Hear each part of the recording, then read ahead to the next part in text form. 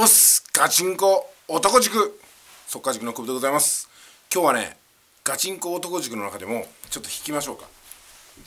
さすがに4月ちょっと暑くなってきたんじゃないですか。衣替えのシーズンじゃないですかね。うん。桜散ると学ランも着替える時期に入ってくると思いますんでこのね特にコートのような洋ランは暑い。ということでちょっとこれ脱がしていただいてですね。この長かった洋ラン見てください120センチの洋ランですからね。身長180の私でも60センチしか余らない。ではなくて頭の上がありますから本当にね膝の下までこれいくんですよね。これが。いやいやいや。ですんで学ランだとこのまんま椅子に座ることもできない。車の運転もできない。立ちっぱなしでございます。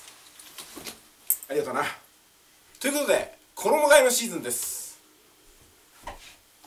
この愛服に着替えさせていただきます。普通の白いシャツに見えますが普通の白いシャツですね。はい。こんな感じでね。あとこれをハイウエストの入ったこともないか。腰に入れるということが。ピシッとね。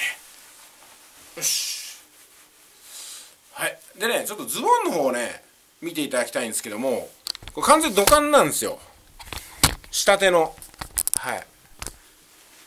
こんな感じですね。うん。あのバナナって言ってここ絞ってるやつあるでしょ。あれとじゃなくて本当にこうドカンと下までいってるんですよね。